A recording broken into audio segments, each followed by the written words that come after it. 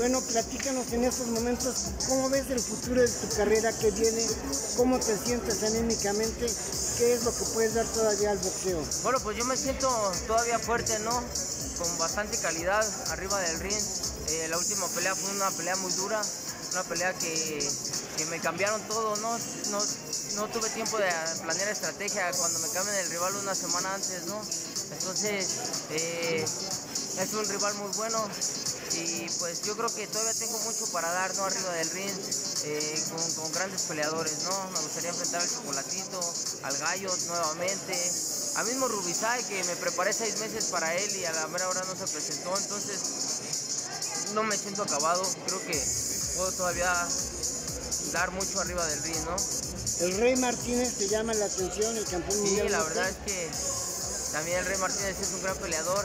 Eh, pues le, se vio que le faltó mucha, mucha experiencia ¿no? a la hora de enfrentar a, a, Román González y pues creo que yo sí tengo bastante calidad para enfrentarlo a él y a cualquiera. Oye, la una trilogía con el Gallo Estrada.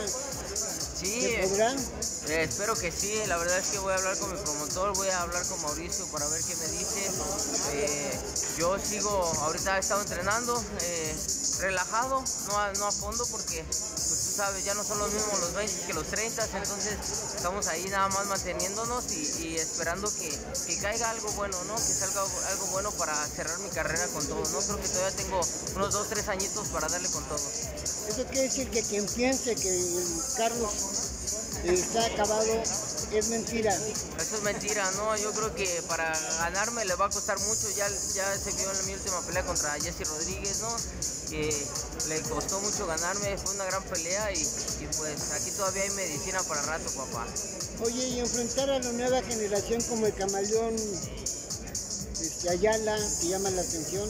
Sí, la verdad es que soy muy amigo del camaleón un muchacho que es muy fuerte, pega duro, estuvo boxeando conmigo, me ha, me ha ayudado a hacer sparring y, y, pues yo creo que, que también serían una, unas grandes peleas, ¿no? Eh, es un peleador joven y, y, pues bueno, nada más le falta echarle mucha experiencia. Oye, um, cambiando un poquito de tema, tú fuiste compañero de equipo de Oscar Valdés allá en, en el época de amateur de olímpico. ¿Cómo ves su pelea con Securi Stevenson este fin de semana? Bueno, creo que va a ser una pelea dura, ¿no?